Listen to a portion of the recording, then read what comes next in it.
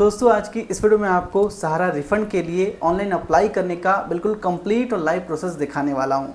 सो, अगर आपने इस वीडियो को ध्यान से देख लिया तो आपको कोई भी दूसरी वीडियो देखने की ज़रूरत नहीं पड़ेगी। सो, चलिए शुरू करते हैं। तो इसके लिए आपको सहारा रिफंड पोर्टल पे आना है। इसका डायरेक्ट लिंक आपको वीडियो के डिस्क्रिप्शन में मिल जाएगा।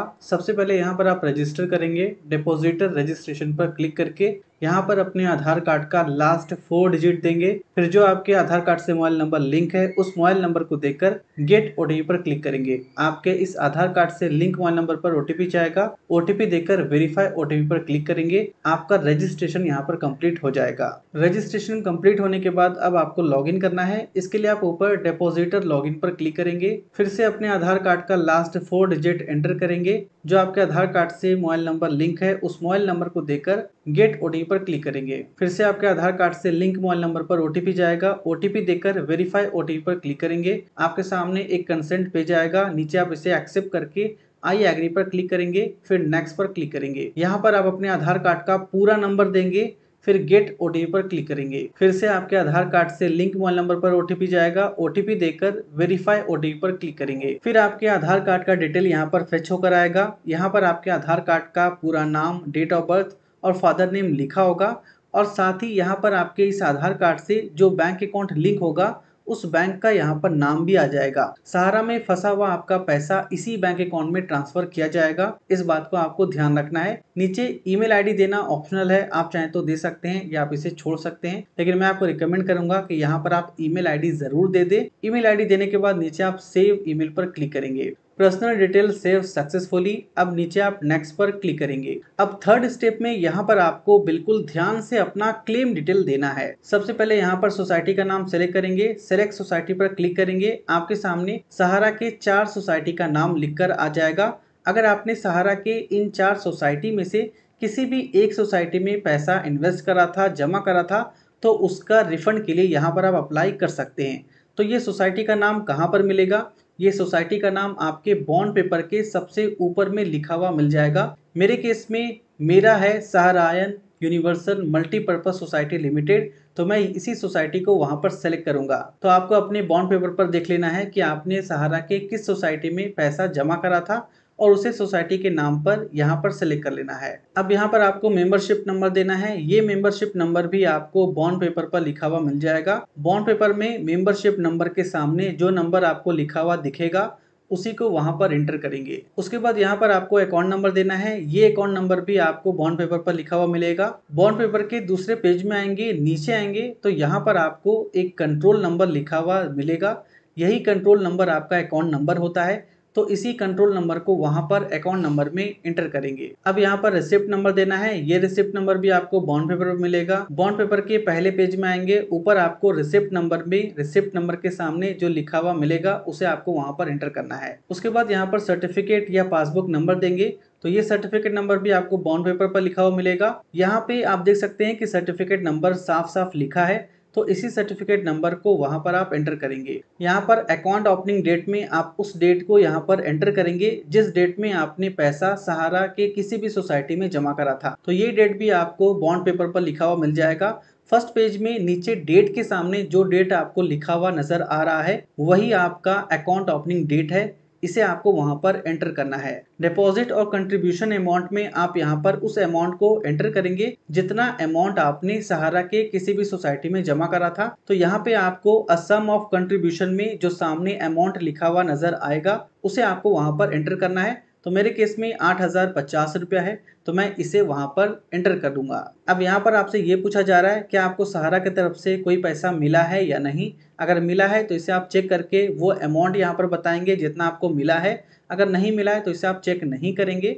नीचे आपसे ये पूछा जा रहा है, क्या आपने सहारा के सोसाइटी से लोन लिया है या नहीं? तो अगर नहीं लिया है तो इसे आप चेक नहीं करेंगे। अगर लिया है तो इसे चेक करके यहाँ पर आपको डिटेल बताना होगा।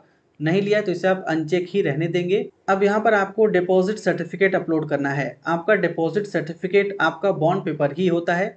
तो यहाँ पर आपको बॉन्ड पेपर अपलोड करना है, लेकिन ध्यान रखें कि बॉन्ड पेपर का फ़र्स्ट पेज और सेकेंड पेज दोनों अपलोड करना है। जैसा कि आप देख सकते हैं कि मैंने यहाँ पर फ़र्स्ट पेज और सेकेंड पेज का पीडीएफ बना लिया है, इसे मैं यहाँ पर अपलोड करूँगा। इस बात का ध्यान रखें कि आपका डॉक्यूमेंट जेपीजी पीएनजी या पीडीएफ फॉर्मेट में ही होना चाहिए। आपका डॉक्यूमेंट 200 केबी से ज़्यादा नहीं होना चाहिए। तो डॉक्यूमेंट अपलोड करने के लिए चूज़ फ़ाइल पर क्लिक करेंगे और जहाँ पर आपका डॉक्यूमेंट है, उसे सेलेक्ट करके ओपन पर क्लिक करेंगे।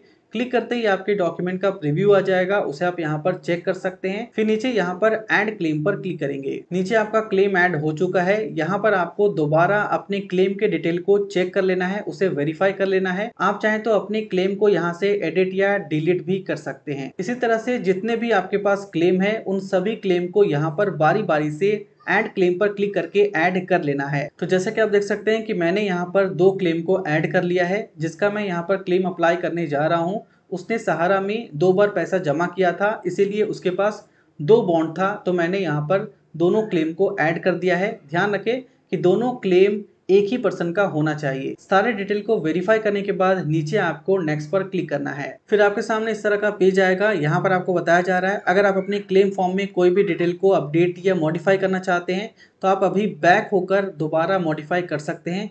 क्योंकि अगर आपने यहाँ पर क्लेम को जनरेट कर लिया, आपने फॉर्म सबमिट कर दिया तो आप कुछ भी नहीं कर पाएँगे। अब यहाँ पर आपको इस फॉर्म को डाउनलोड करके इसे प्रिंट आउट करना है। अगर ये फॉर्म जनरेट नहीं होता है तो आप जनरेट क्लेम रिक्वेस्ट फॉर्म पर क्लिक करके इसे दोबारा जनरेट कर सकते हैं। इसे आप या तो डाउनलोड कर सकते हैं, या आप इसे पीडीएफ में सेव कर सकते हैं, या अगर आपके पास प्रिंटर है तो इसे आप डायरेक्ट प्रिंट आउट करके बाहर निकाल सकते हैं। तो चलिए हम इसे डाउनलोड कर लेते हैं, डाउनलोड फॉर्म पर क्लिक करेंगे। इस तरह का एक मैसेज आएगा, इसे आप पढ़ लेंगे, यहाँ फिर ओके पर क्लिक करेंगे। ये रहा आपका क्लेम फॉर्म सबसे पहले आपको इस क्लेम फॉर्म को प्रिंट आउट करके बाहर निकालना है। फिर इस क्लेम फॉर्म पर यहाँ पर आपको अप्लीकेंट का एक रंगीन पासपोर्ट साइज़ फ़ोटो चिपकाना है। फिर इस पासपोर्ट साइज़ फ़ोटो पर आपको अप्लीकेंट का सिग्नेचर लेना है। सिग्नेचर इस तरह से लेना है ताकि आधा सिग्नेचर फ़ोटो पर आए और आधा सिग्नेचर नीचे आए। फिर बैंक नेम में यहाँ पर आप उसी बैंक नेम को लिखेंगे।